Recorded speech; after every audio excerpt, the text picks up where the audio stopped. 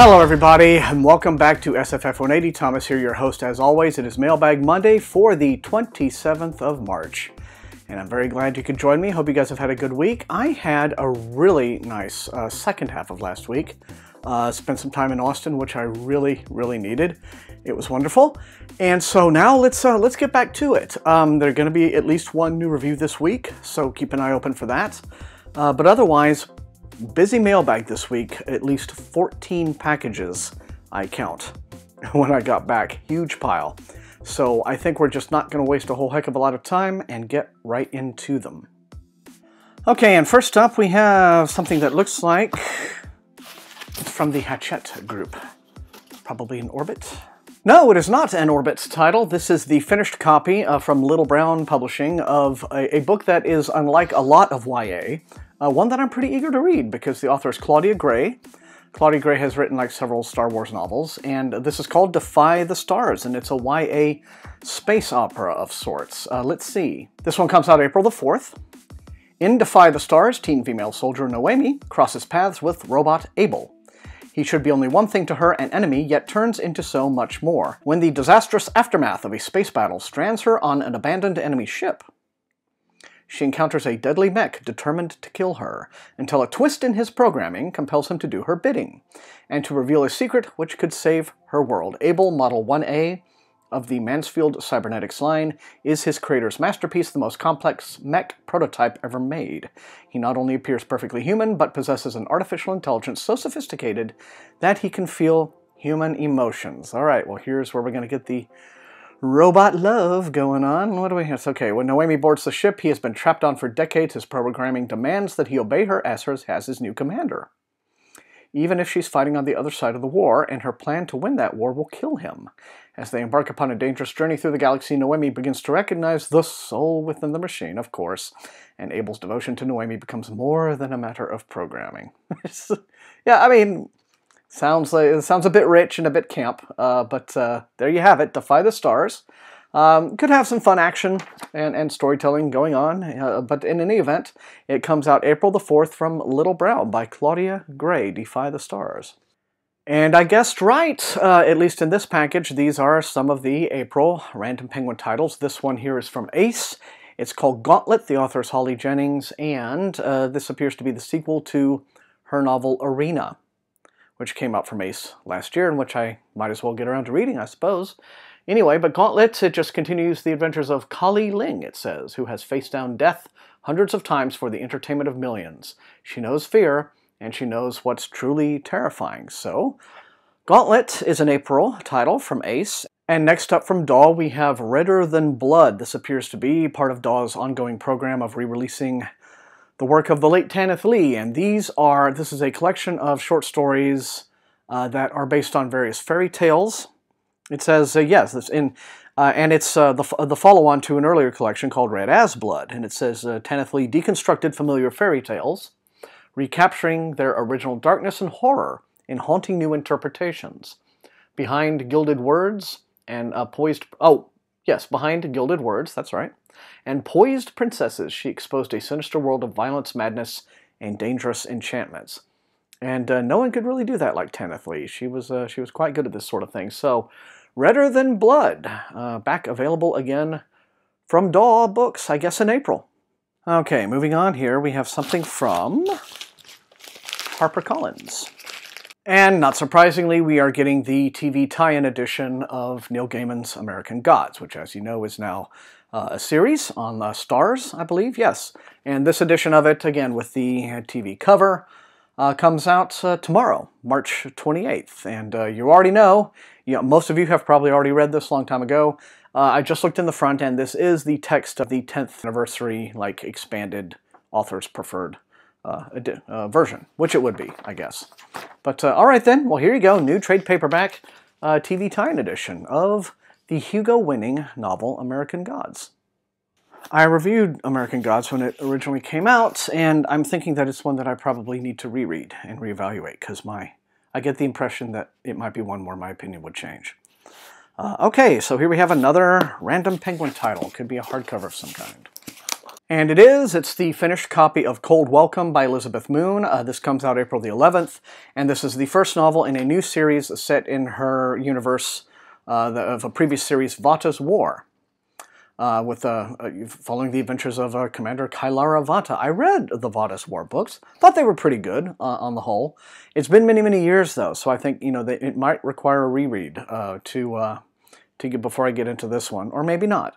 Uh, but uh, it's five books though, so it would be a it would be a real task to to recover re reevaluate that whole series. But in any event, uh, let's see. After nearly a decade away, Nebula Award-winning author Elizabeth Moon makes a triumphant return to science fiction with this installment in a thrilling new series featuring the daring, daring hero of her acclaimed Vatta's War Sequence. Cold welcome. Summoned to the home planet of her family's business empire, Space Fleet Commander Kylara Vatta is told to expect the hero's welcome, but instead she's thrown into danger unlike any other she has faced and finds herself isolated, unable to communicate with the outside world, commanding a motley group of unfamiliar troops and struggling day, to, day by day to survive in a deadly environment with sabotaged gear. Only her undeniable talent for command can give her ragtag band a fighting chance. So it's that kind of uh, science fiction adventure. And uh, yeah, if you enjoy that sort of thing, and if you liked the earlier series, April the 11th in hardcover from Del Rey. And moving on, white envelope, usually a Tor title. And it is, this is Gather Her Round. The author is Alex Bledsoe. This is uh, the newest novel in his series, The Tufa, uh, which uh, I have, I think, some of them. I don't know if I have all of them.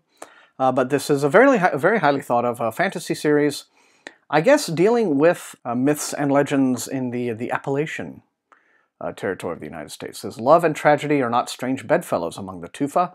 Young Kira Rogers disappears while hiking in the woods by Needsville. When her half-eaten remains are discovered, the blame falls upon a herd of wild hogs, a serious threat in this rural community. In response, the county's best trackers, including Game Warden Jack Cates and ex-military Tufa Bronwyn Chess, are assembled to hunt them down. And then uh, I guess uh, they they discover a bit more than they bargained for in all of this. But uh, you know, yeah, the earlier volumes were the hum and the shiver, wisp of a thing, and long black curl, and so this would be the fourth of these. And uh, this, oh, apparently, well, according to this, this has been out now for a little while. Just haven't seen it. Uh, it came out March the 7th, evidently. All right, well, glad to have finally gotten it. Last week had some late Tor arrivals, and I guess here we have another one. But uh, nice to have it all the same. But uh, Gather Her Round by Alex Bledsoe is now available from Tor. And what is this? This is also from Tor, but it's not not in a white envelope. Hmm. Maybe it's something special.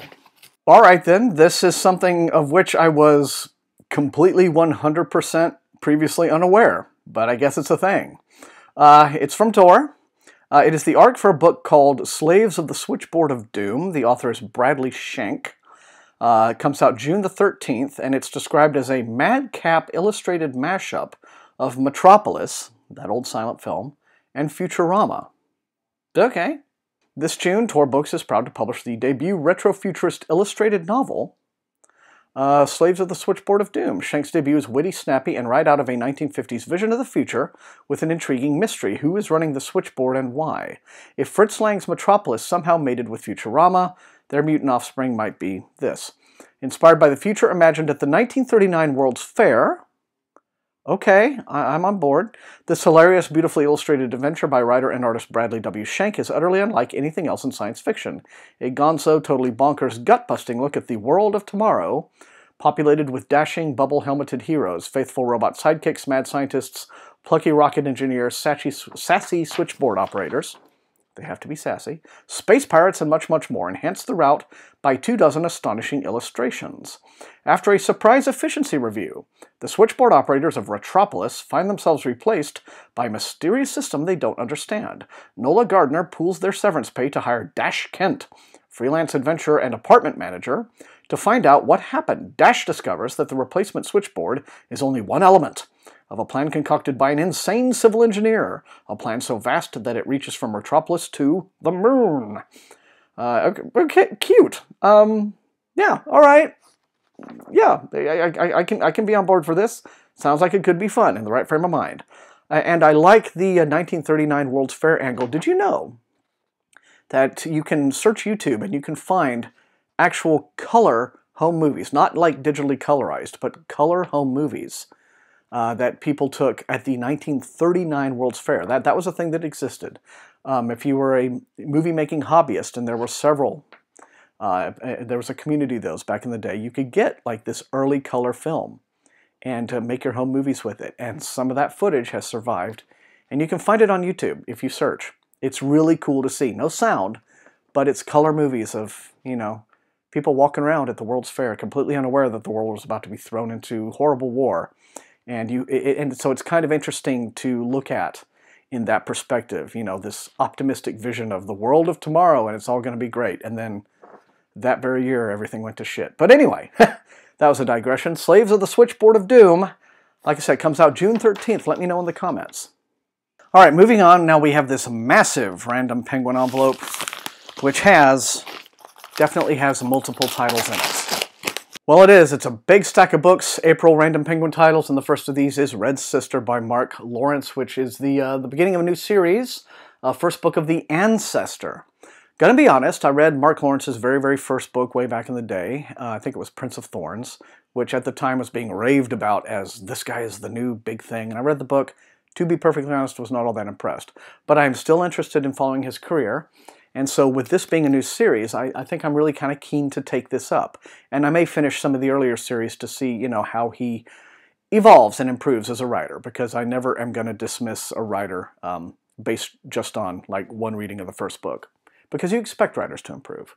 And uh, so anyway, but Red Sister, Mark Lawrence, looks intriguing to me. Um, I'm going to guess it's probably in his uh, grim dark vein. Uh, yes, a stunning fantasy, epic, epic fantasy series about a secretive order of holy warriors. At the Convent of Sweet Mercy, young girls are raised to be killers. In some few children, the old blood shows, gifting rare talents that can be honed to deadly or mystic effect. But even the mistresses of Sword and Shadow don't truly understand what they've purchased when Nona Gray is brought to their halls, a, blood, a bloodstained child of nine? Falsely accused of murder, guilty of worse, Nona is stolen from the shadow of the noose. It takes ten years to educate a Red Sister in the ways of blade and fist, but under Abbess Glass's care there is much more to learn than the arts of death. Among her class, Nona finds a new family and new enemies. Hmm. Okay then, Red Sister by Mark Lawrence. Sounds like it could be pretty kick-ass. Let me know in the comments. And next up, we have The House of Binding Thorns, which is the uh, sequel to The House of Shattered Wings by Aliette de Bodard. This is a series that is about a magical war set in Paris, uh, which always looks very intriguing. And so, uh, yeah, so this comes out again in April from Ace Books uh, here in the US. So let me know about this one if you want me to go ahead and get caught up with this series for you guys. And then next from CJ Cherryh, from DAW Books, we have Convergence, which is the next volume in the ongoing, ever ongoing, never ending Foreigner universe novels. And so I'm not even going to try to give you a plot synopsis of this one, but I know that it has involved. It's this whole saga of the human uh, humans coming into contact with these aliens, and I guess trying to sort of uh, you know mesh with their society, as it were. Even though that there there are fundamental basics in the way these aliens think and the way humans think that are very very different. Uh, but anyway, uh, this also I believe would be the longest continuing series that Cherryh has ever done. I think the first one, uh, Foreigner, came out way back in 1994 or something.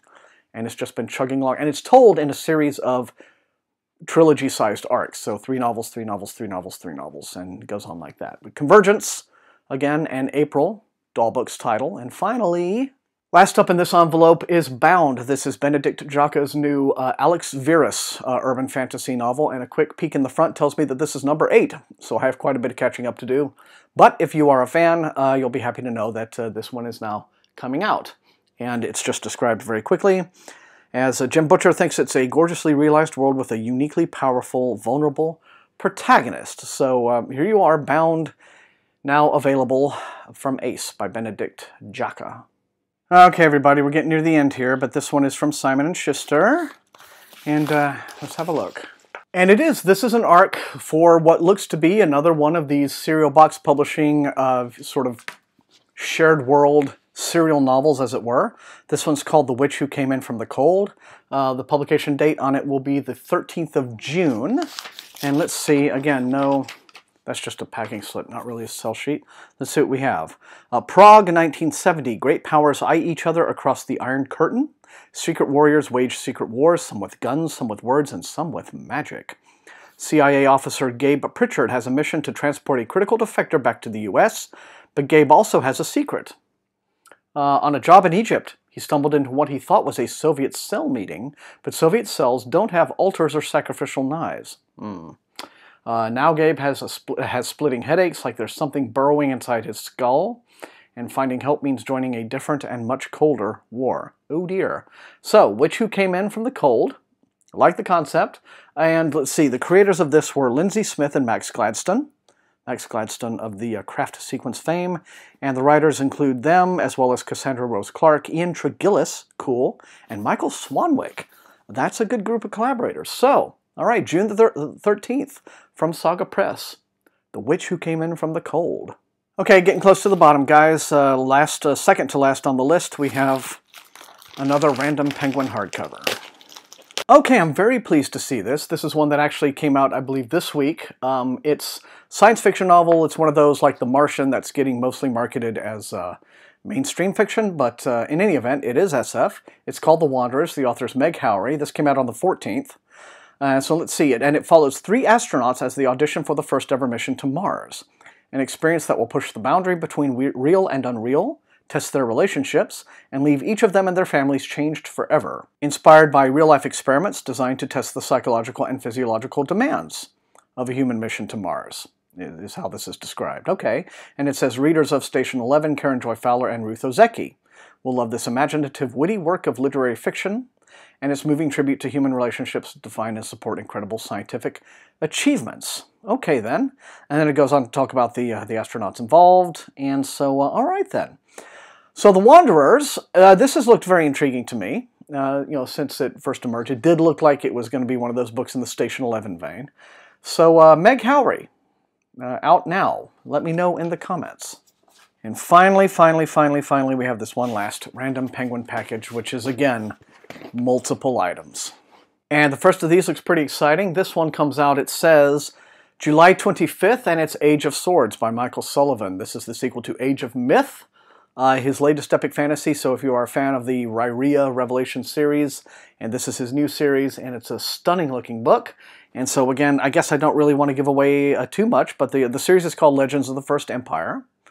And uh, like I said, uh, July 25th for this one from Michael J. Sullivan. Also, we have the latest in the ongoing Harry Turtledove assembly line of alternate history, and this one is called Armistice, and it is the third book so far in his series called The Hot War which follows Bombs Away and Fallout, and I guess the whole idea is, well, this one's called Armistice.